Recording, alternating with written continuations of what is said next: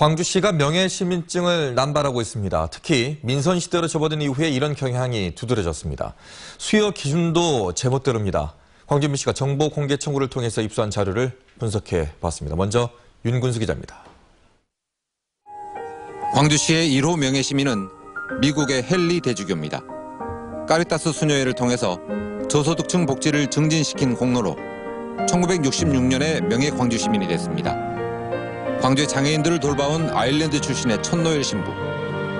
광주의 수많은 예술 작품을 기부한 제1교포 2세 하중홍 씨도 명예 전당에 이름을 올렸습니다. 광주 인권상 수상자이기도 한 아웅산 수지 여사는 지난 2013년에 명예 시민이 됐습니다.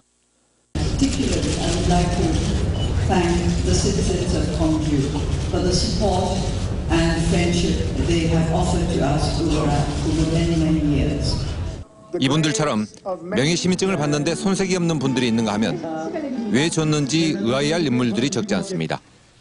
국정원 광주지부장이나 기무부대장, 광주를 거쳐간 검사장과 법원장들도 무더기로 명예 시민증을 받았습니다. 이런 현상은 민선 들어 두드러졌습니다. 관선시장 시절에는 30년 동안 32명, 그러니까 1년에 한 명꼴로 명예 시민증을 받은 반면에 2008년엔 한 해에 무려 19명이 한꺼번에 명예 시민이 되는 등 2005년 이후 11년 동안 70명이 시민증을 받았습니다. 관선 때는 단 3명에 그쳤던 내국인은 민선 때는 39명으로 늘었고 이 중 절반은 기관장이었습니다. 주된 수요 대상도 사회복지와 교육문화, 안보 분야에서 문화체육 분야와 기관장, 정치인으로 급격히 바뀌었습니다.